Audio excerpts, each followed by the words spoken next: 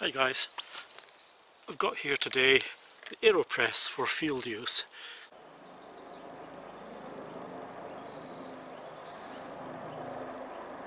So the AeroPress comes in a wonderfully compact drinking vessel. Uh, you open it up with a rubber top and underneath, inside, is stored your filters. You can take up to five or six filters. Uh, your actual plunger where the coffee goes in and the plunger gets in gets its use. And a stirring stick if you need it but I prefer not to I just shake things but I'll probably use it today. And then to finish with of course the container that it's all packed into which gives you a very generous uh, mug for your morning coffee. It is very lightweight, it can be carried in your pocket.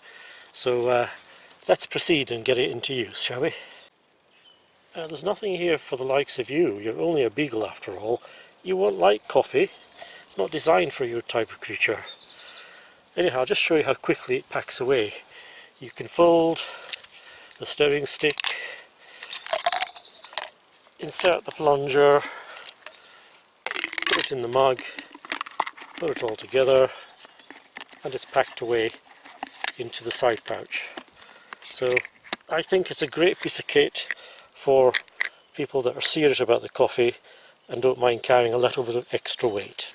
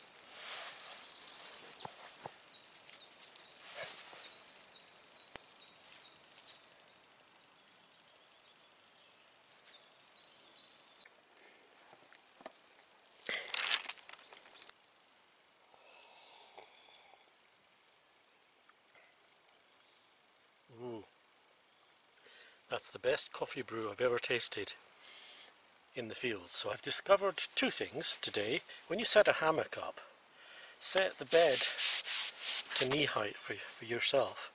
So when you're sitting on the edge of it, your feet are on the ground if you want them to be. And getting out in in is relatively easy. You just swing your, your legs over, push back, and you're virtually in standing position, and off you go. So the other thing is, the standard military tarp isn't quite big enough uh, to extend the length of the hammock unless in diamond formation which I think is at a push just about acceptable. But uh, some of the, the later military tarps are of course slightly bigger than the originals in the 90s. And so until next time, all the best to you all. See you soon. Chin chin.